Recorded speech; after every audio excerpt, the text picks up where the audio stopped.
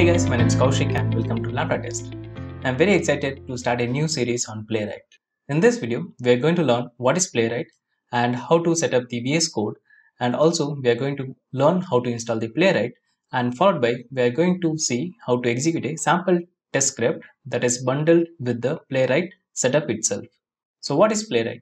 Playwright is a Node.js library that is used to automate Chromium, Firefox and WebKit with a single API. Playwright is built to enable cross-browser web testing.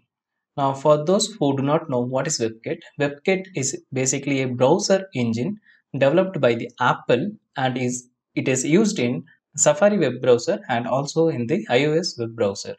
Playwright by Microsoft is a fork of Puppeteer. For those who do not know about the Puppeteer, Puppeteer is a node library that is used to automate Chromium browsers with the JavaScript API and it is mostly used by the developers but of course testers can also use and by default it runs in the headless mode. Playwright is really a good tool and it has a lot of capabilities. Let's see few of the highlighted about the Playwright. So it can handle multiple pages, multiple domains and iframes and also like window handling concept, the alert, everything is bundled within the API. We can intercept the network for stubbing and mocking network request. We can emulate mobile devices, geolocations and permissions. We can do only the emulation. We cannot uh, run the Android or uh, the iOS native application. But of course, we can connect our physical device like Android device and we can execute the test in the Android Chromium browser as well. It supports native inputs like the keyboard actions and the mouse actions. For example, in Selenium, we have this actions class where we do lot of advanced user interactions like drag and drop, um, mouse override. So all those possible with the Playwright as well. And it also supports upload and download of any kind of files. In the recent version of Playwright, that is 1.22, we have component based testing as well. And the beauty of Playwright with TypeScript or the JavaScript is like it has its own test runner called Playwright Test Runner, which is really good. So if you want to take the screenshot or if you want to take the video, just a single configuration and it will work across all the test script. It is really, really helpful. And of course, it supports the Docker as well. Now let's get started to do the setup. So prerequisites are very simple. We are going to work on the TypeScript. So for that, definitely we need the Node.js and then followed by we are going to use the VS Code editor and also we need the VS Code um, extension for Playwright which will make our installation setup very easier. Let's get started now. First of all, we are going to create a folder. Let's say that it's going to be like learn dash playwright. Okay. And before getting into this, make sure you have node. So go to your C command prompt and you can type like node dash v to check the node version. If anything above than 14 is present in your system, then of course it's fine. Or else simply you can just Google and uh, download Node.js and you can do this installation. That's going to be very, very simple. And followed by of course my choice will be always vs code and that installation is also very easy. You can just go through it. Okay? So once we have created the folder in the command prompt i mean in the address bar you have to just bring your command prompt by typing the cmd and here i can select code dot that will bring my vs code. Okay let's close the command prompt and also the folder. And here you can see that learn playwright that is the folder we have created. Now we are going to navigate to this extensions section. And here we are going to search for playwright.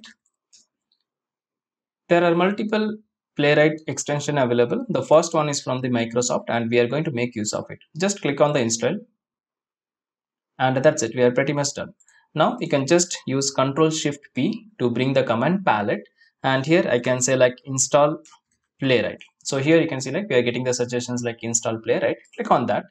Then followed by it will ask you like whether you want to install the chromium firefox and the webkit. So basically playwright supports all the major browser browser engine and we are going to use all the three okay? So i'm going to click on this okay. There is an option to add github actions but i will recommend you to skip this now mostly we are going to execute our test in the lambda test platform as well as in the local. So for now this is not required. Okay so let's click on this ok button.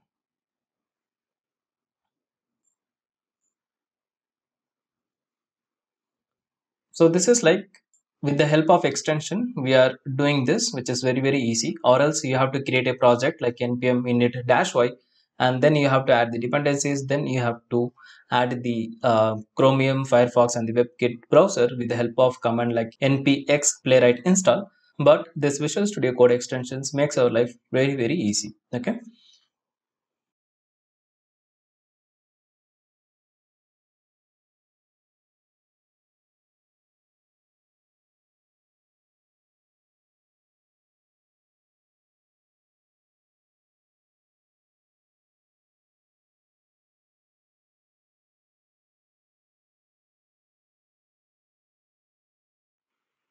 Okay, so the installation is completed and here you can see a message like happy hacking. Um, so basically like here also you can see like some of the commands have been given so that we can execute, but we are not going to make use of it now.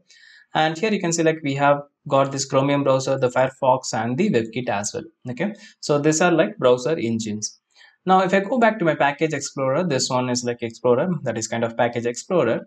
So here you can see like within the test folder, we got an example test and which is really small test, I believe. Not a small, uh, actually it has like lots of tests, okay.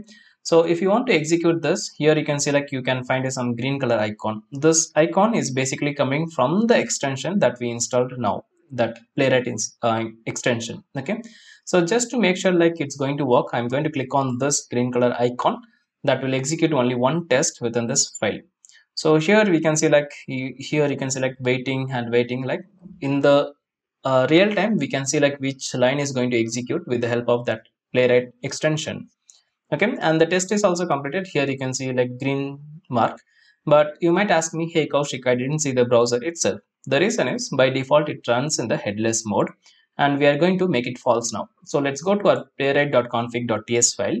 And within this we have like use and here I'm going to say like headless and I'm going to make it as false okay?